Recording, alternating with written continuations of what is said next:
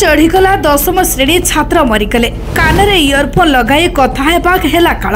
Train କରିଦେଲା ଛାତ୍ରଙ୍କ ଶରୀରକୁ ଛତୁ ସାଙ୍ଗ ଘରକୁ ଯାଇ ଘରକୁ ଫେରୁଥିବା ବେଳେ ରେଳ ଫାଟକ ନିକଟରେ ଜଗି ରହିଥିଲା ଯମ ସାଙ୍ଗ ସହ ଫୋନ୍ରେ କଥା ହୋଇ ଆସୁଥିବା ବେଳେ କାନରେ ଦେଇଥିଲେ ଇୟରଫୋନ୍। ଜାଣି ପାରିନଥିଲେ ଆସୁଛି ଟ୍ରେନ୍ ଘଟିଯିବ ଦୁର୍ଘଟଣା ବୋଲି।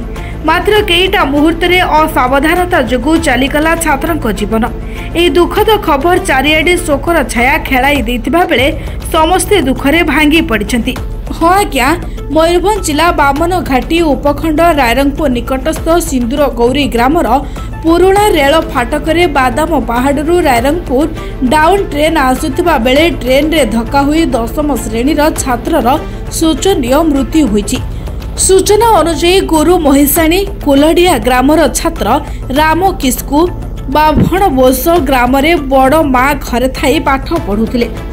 ରାମ କିସ୍କୁ ତା ସାଙ୍ଗ ଘରୁ ଫେରୁଥିବା ବେଳେ ସିନ୍ଦୁରଗୌରୀ ରେଳ ଫାଟକରେ ଇୟରଫୋନ୍ ଲଗାଇ ସାଙ୍ଗ ସହିତ କଥା ହୋଇ ଫାଟକ ପାର କରୁଥିବା ବେଳେ ଦ୍ରୁତ ଗତିରେ ଆସୁଥିବା ଟ୍ରେନ୍ରେ ଧକ୍କା ହୋଇ ମୃତ୍ୟୁବରଣ କରିଛନ୍ତି।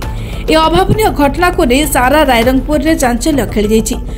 ଅଭାବ ଅନାଟନ ଯୋଗୁଁ ରାମ କିସ୍କୁର ମା ଯୋଡ଼ା ଡୁବୁରିରେ ଦାଦର ଖଟି ଘର ଚଳାଉଛନ୍ତି। ସୂଚନା ଅନୁଯାୟୀ ବର୍ତ୍ତମାନ ଦୁଃଖ ଅନାଟନରେ ବିତୁଥିବାରୁ ରାମ କିସ୍କୁଙ୍କ ମାଆକୁ କ୍ଷତିପୂରଣ ପାଇଁ ସରକାରକୁ ନିବେଦନ କରିଛନ୍ତି। ମୟୂରଭଞ୍ଜ ରାଇରଙ୍ଗପୁରରୁ ସନ୍ତୋଷ କୁମାର ଅଗ୍ରୱାଲଙ୍କ ରିପୋର୍ଟ ନିରପେକ୍ଷ।